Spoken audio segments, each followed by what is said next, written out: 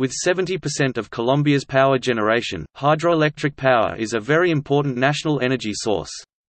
The total large hydropower potential for Colombia is estimated at 93 gigawatts, with an additional 25 gigawatts of small hydropower.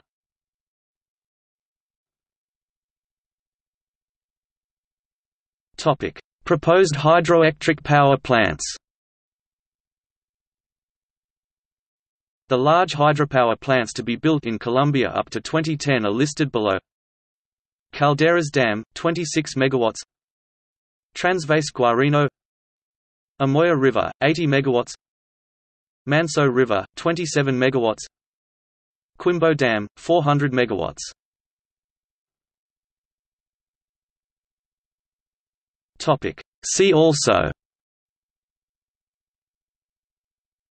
Electricity sector in Colombia. List of power stations in Colombia. Renewable energy in Colombia.